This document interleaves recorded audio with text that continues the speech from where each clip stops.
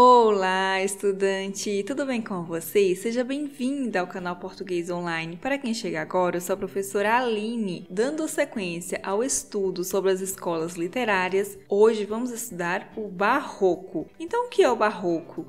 Primeiro, é importante dizer que o termo barroco é usado para representar genericamente todas as manifestações artísticas dos anos 1600 e início dos anos 1700 beleza? Além da literatura, o barroco estende-se à música, pintura, escultura e arquitetura da época. O barroco começa na Itália, nasce da crise de valores que ocorreu no Renascimento, crise essa que surgiu pelas lutas religiosas e dificuldades econômicas da época. O barroco acontece em meio à reforma protestante e à contra-reforma. De forma breve, a reforma protestante tem como principal representante Martinho Lutero, que criticava algumas práticas da Igreja Católica. As revoltas e ideias defendidas por Lutero se espalham pela Europa e muitos europeus passam a sugerir mudanças na Igreja ok? É nesse contexto que ganha força a Contra-Reforma, na qual a Igreja Católica inicia uma série de ações para tentar conter os avanços da Reforma Protestante. Eu sugiro que você busque sobre Reforma Protestante e a Contra-Reforma para você compreender melhor o contexto no qual ocorreu o Barroco. Beleza? O homem do período barroco vive em estado de tensão e desequilíbrio, e isso vai refletir em suas manifestações artísticas por meio do culto exagerado da forma e exagero de figuras de linguagem, como metáfora, antítese, hipérbole, beleza? No Brasil, o barroco começou mais tarde. Teve início em 1601, com o poema épico Prosopopeia de Bento Teixeira. Agora vamos ver algumas características do barroco. Uma delas é o conflito entre o terreno e o celestial. O homem desse período estava dividido entre o terreno e o celestial, entre a fé e a razão, entre o pecado e o perdão. Não sabia se seguia as ideias do teocentrismo ou do antropocentrismo, ok? Então a oposição de ideias atormentava o homem do século 17. No barroco literário, notamos dois estilos, o cultismo e o conceptismo, beleza?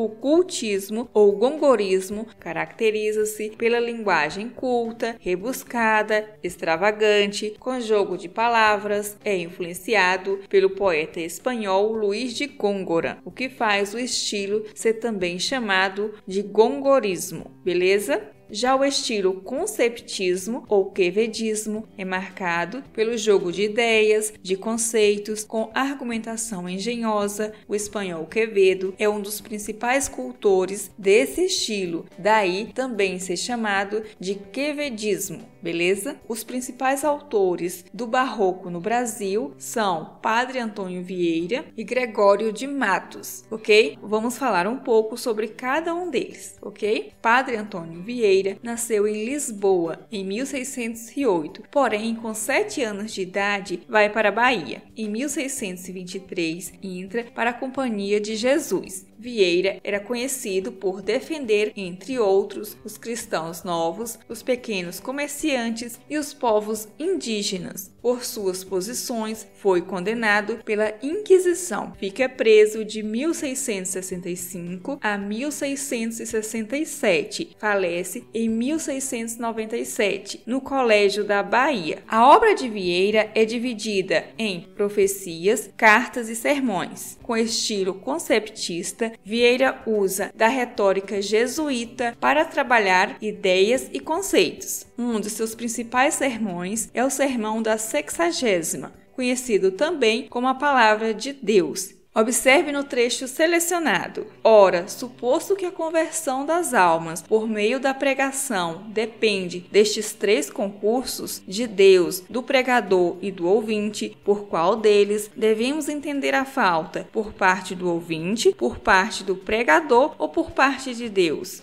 Primeiramente, por parte de Deus, não falta e nem pode faltar. Esta proposição é de fé defendida no Concílio Tridentino e no nosso Evangelho a temos. Os pregadores deitam a culpa nos ouvintes, mas não é assim. Se fora por parte dos ouvintes, não fizera a palavra de Deus muito grande fruto, mas não fazer nenhum fruto e nenhum efeito não é por parte dos ouvintes. Provo. Sabeis cristãos, porque não faz fruto a palavra de Deus por culpa dos pregadores. Sabeis, pregadores, porque não faz fruto a palavra de Deus por culpa nossa. Percebemos que Vieira questiona de quem era a culpa pela palavra de Deus não frutificar, de não converter as almas. Por meio do conceptismo, trabalha com ideias e conceitos Primeiramente, inocenta Deus, mais adiante, inocenta também os ouvintes. Ao inocentar Deus e os ouvintes, a culpa da palavra de Deus de não frutificar, de não converter as almas, fica para os pregadores ok? O sermão da sexagésima resume a arte de pregar, beleza? Agora vamos falar um pouco sobre Gregório de Matos. Ele nasceu na Bahia em 1633. É considerado o primeiro poeta brasileiro. Seus primeiros estudos foram no Colégio dos Jesuítas. Depois vai para Coimbra. Lá faz direito, formado, trabalha e vive alguns anos em Lisboa. Por suas sátiras, é obrigado a voltar à Bahia Implacável na sátira, Gregório recebe o apelido de Boca do Inferno. Porém, além da poesia satírica, também escreveu poesia religiosa e lírica. Usa tanto o estilo cultista como o estilo conceptista, ok? Por suas críticas, é enviado para Angola. Mais tarde, retorna ao Brasil, mas com duas condições. A primeira, não pisar em terras baianas, e a outra, não apresentar suas sátiras. Gregório morre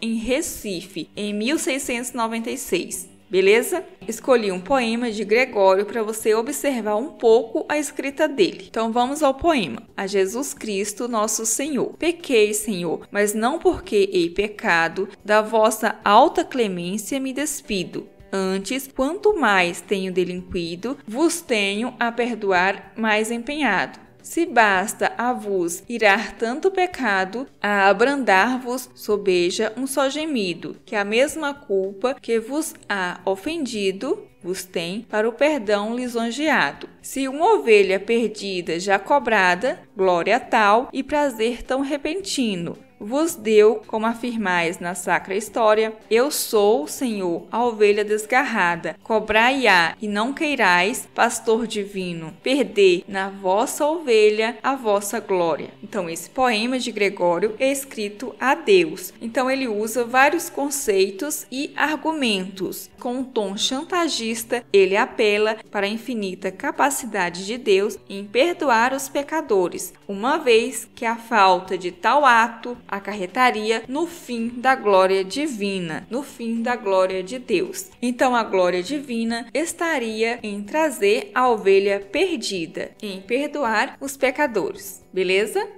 Para o vídeo não ficar muito longo e cansativo, por hoje é isso. Espero que a aula tenha ajudado você a compreender melhor a escola literária Barroco e que você tenha sucesso em seus estudos. Se você ainda não é inscrito no canal, já se inscreva e ative o sininho para você não perder nenhum vídeo. Combinado? Se você gostou da aula, deixe seu like, deixe seu comentário, dúvidas e não se esqueça de compartilhar este vídeo com seus colegas para ajudá-los também. E até mais, tchau!